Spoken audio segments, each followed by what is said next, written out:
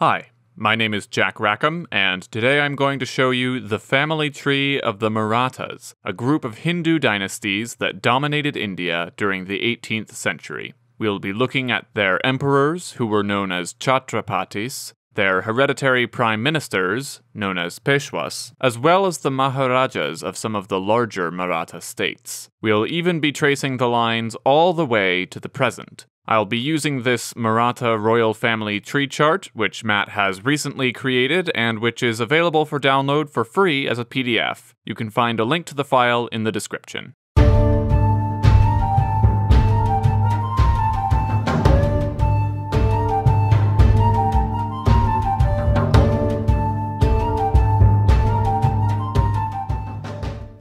We tend to think of India as a single unified country because, well, that's what it is today. But throughout most of world history, India was actually divided into a bunch of smaller, often independent states. So, really, one should think of India as more of a continent than a country. Sure, it's connected to Asia, but then again, so is Europe. Like Europe, India is comprised of many different types of people, often with their own unique languages and culture. In ancient times, it was really only united twice first by the Maurya Empire, and then by the Gupta Empire. But as you can see, even in those cases, the unification was not complete. During the medieval period, the only state that came close to unifying India was the Delhi Sultanate. But then, in the 16th century, came the Mughal Empire, an Islamic empire with rulers of Mongol and Timurid descent. The Mughals managed to conquer more of India than anyone since the Mauryans. They are the ones who built the famous Taj Mahal, which brings us to the Marathas. As I mentioned, the Mughals were a Muslim dynasty. However, in many parts of India, the majority of people were Hindu. Initially, the Mughals were tolerant of religious diversity, but when this started to break down, a group of warrior clans from the Deccan Plateau, known as the Marathas, started to fight for their independence. So, with that background, let's now return to the family tree. The person who emerged as the leader of the Maratha clans was a man named Shivaji. He was eventually given the title Chhatrapati, which literally means umbrella ruler, and is thus similar to the title of emperor. He was the grandson of a man named Maloji Bhosle, who was a Sardar, a title meaning commander, in the army of Malik Ambar. Never heard of Malik Ambar? Well, funny enough, I just made a video about him over on the Jack Rackham channel. I'll leave a link to that in the description. Once the Bhosle dynasty was well established, they claimed that they were the descendants of an earlier Rajput dynasty called the Sisodians. The Sisodians, in turn, claimed to be the descendants of an ancient dynasty known as the Solar Dynasty, a dynasty that includes well known figures such as Rama and the Buddha. Matt will be doing a video on the solar and lunar dynasties of India later this year. But in reality, it's likely that the Bhosles simply created these links to past dynasties in order to bolster their legitimacy, something that we've seen numerous dynasties from all over the world do. It's kind of a pattern. Interestingly, though Hindu nationalists have often rallied around Maratha pride, the beginnings of the empire actually feature quite a bit of religious pluralism. Here's Odd Compass, a new channel dedicated to Indian history, to explain. The Marathas hailed from the Deccan region in south central India a region well known for its religious and ethno-linguistic pluralism. For example, even though the Maratha Sardar, Maloji Bhosle, was a Hindu, he prayed at the shrine of the Sufi Muslim saint Shah Sharif. He prayed in the hopes that his wife would give birth to sons, and lo and behold, she did. As Maloji believed that his prayers had been answered, he named his sons Shahaji and Sharifji in honor of the Sufi saint. Shahaji, his name suffused with Sufi spirituality, would go on to father the legendary Shivaji. If you'd like to learn more about Indian history, check out my channel Odd Compass. I do encourage you to visit Odd Compass. I'll leave a link to the channel in the description. So, Shivaji is credited as being the founder of the Maratha Empire, although the area controlled by the Marathas wouldn't really reach empire size until later. Today, he's revered by Hindu nationalists as one of their favorite heroes, and in fact, a statue of him is currently being built off the coast of Mumbai, which is set to become the largest statue in the world. Shivaji was succeeded by his son Sambhaji, but Sambhaji was eventually captured and killed by the Mughals. They also captured his son Shahu and held him prisoner. Therefore, another one of Shivaji's sons, by a different wife, became the next Chhatrapati. His name was Rajaram, and among his wives was his cousin Tarabai. She was the daughter of Hambir Rao Mohite, who had been Shivaji's top general as well as brother to his wife Soyarabai, Rajaram's mother. When Rajaram died suddenly due to an illness, she took over as regent on behalf of her son Shivaji II.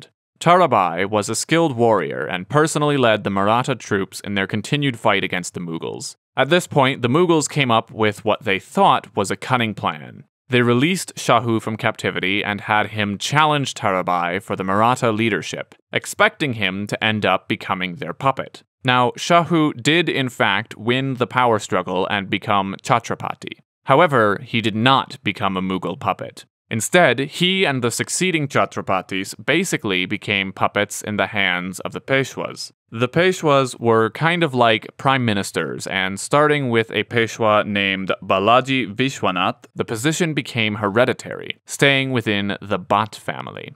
We'll come back to the Peshwa family tree, but for now, let's continue with the Chhatrapatis.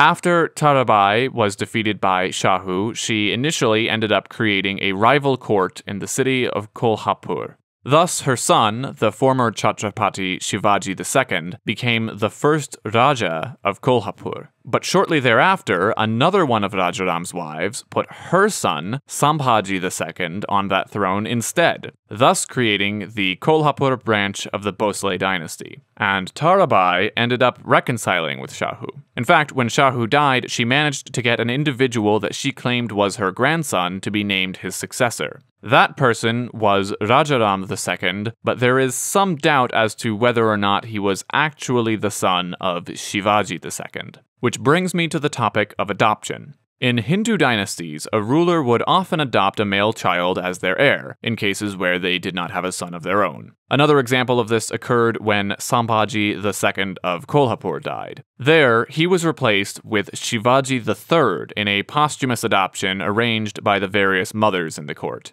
But in these cases, the adopted child was not just anybody. They were always a male member of the same dynasty, just from a junior branch. In this case, Shivaji III was a descendant of Shivaji I's uncle, Sharifji. Now, at this point, the Maratha Empire was truly an empire. They had conquered most of the Mughal territory, and the Mughal emperor had basically become their puppet. But remember, the real power during this period was held by the Peshwas, not by the Chhatrapatis. On this map, you can see Satara, which is where the Chhatrapatis had their court, as well as Kolhapur, which is where the Raja from that branch of the family was located. But you can also see Pune. This is where the Peshwas ruled from, and was thus the true capital of the Maratha Empire.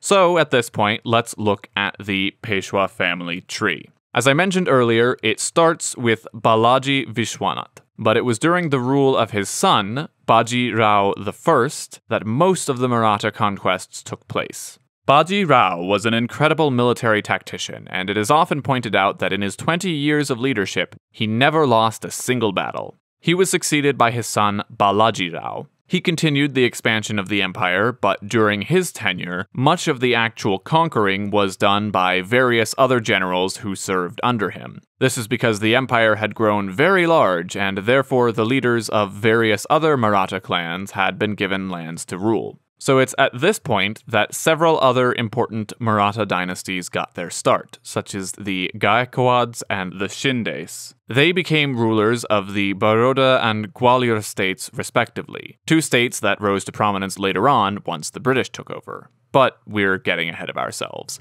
At the very end of Balaji Rao's rule, one of the most important battles in Indian history took place the Third Battle of Panipat, which took place just north of Delhi and pitted the Marathas against the Afghan Durrani Empire. It was one of the largest battles anywhere in the world during the early modern period and resulted in one of the highest number of casualties ever reported in a single day until World Wars I and II.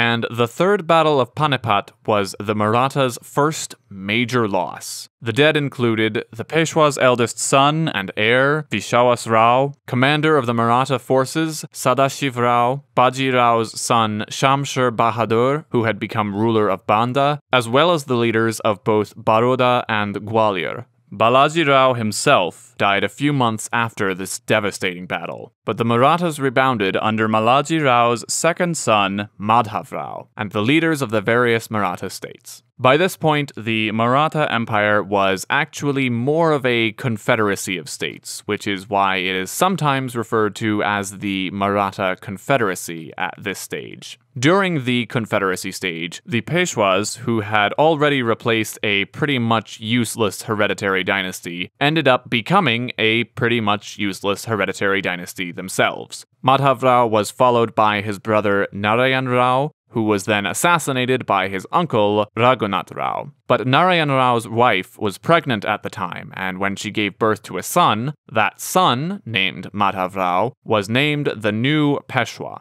So you ended up with regents who were ruling on behalf of a ceremonial ruler who was in turn ruling on behalf of another ceremonial ruler, Chhatrapati Rajaram II. So, under the young Peshwa Madhav Rao, the individual Maratha states became more and more independent, and India started to fragment again. This was made worse by the fact that the various European powers were becoming more and more involved on the subcontinent, particularly the British. During the tenure of Madhav Rao, the First Anglo Maratha War occurred, with the Marathas coming out victorious. But there was a second and a third Anglo Maratha War, which occurred during the tenure of the next and final Peshwa, Raghunath Rao's son, Baji Rao II. The British won both of these wars, and in 1818, the Maratha Empire ceased to exist. At that point, the Chhatrapati was Pratap Singh, legally the great grandson of Shahu I. He was stripped of his emperor rank title and was given the title Raja of Satara instead. But in 1839, even this was stripped away, and soon thereafter, the British considered the line to be dead. However, Within the Bhosle family itself, the now ceremonial title of Chhatrapati was considered to be handed over to the Kolhapur branch, with Shivaji V being the first member of that branch to hold the distinction. They continued to pass it along to their descendants, some of whom were adopted from other Maratha clans, all the way until India's independence in the late 1940s. At that point, all Indian noble titles ceased to exist. However, they are still passed on for ceremonial and traditional purposes, and today, the heir to both the Kolhapur monarchy and the title of Chhatrapati is this person here, who, if reigning today, would be Shahu II. The Satara branch has also maintained their line officially, and today, the current head of that branch is a BJP politician named Udayanraje Bhosle. But before we go, let's go back and talk about some of the other Maratha states. This chart shows only two of them, those of Baroda and Gwalior, but keep in mind that there were also many others. Earlier, I mentioned that the Maratha Empire ceased to exist in 1818. For the next 40 years, most of the Maratha territories were under the control of the British East India Company. But then, in 1857, there was a major revolt against British rule. One of the leaders of that revolt was the adopted son of the last Peshwa, Nana Sahib. But the revolt was not successful and resulted in the British Crown taking direct control over India and much of the area surrounding India as well. This period in history is known as the British Raj. The British Raj was, like previous Indian empires, not a single state, but rather a collection of states. Some of these were known as princely states and were given a certain degree of autonomy. Of the 565 princely states recognized by the British, they considered five of them to be the most important and gave them the designation of being a 21 gun salute state. The two Maratha states of Baroda and Gwalior were given that distinction. So let's take a quick look at their family trees. For most of the British Raj period, the Maharaja of Baroda was Sayaji Rao. He had a very long reign of 64 years. He was followed by his grandson, Pratap Singh Rao, who became the last official Maharaja of Baroda. Today, one of Pratap Singh Rao's own grandsons is the ceremonial Maharaja. His name is Samarjit Singh, and he is a former professional cricketer. The Maharaja of Gwalior during the early part of the British Raj was Jayaji Rao. He was followed by his son Madhavarao and grandson Jiwaji Rao.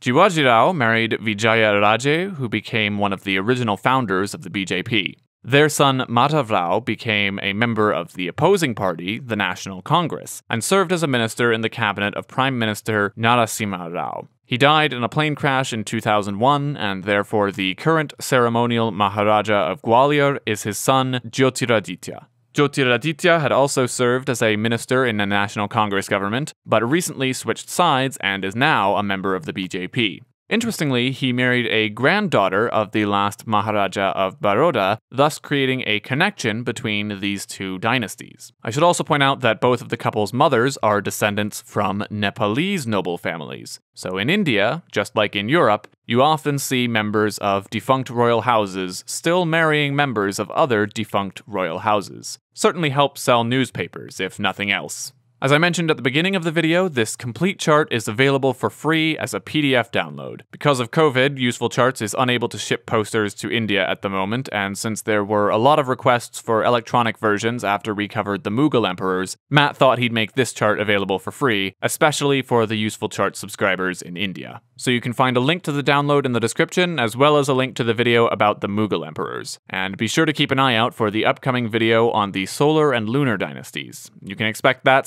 sometime this fall. Thanks for watching.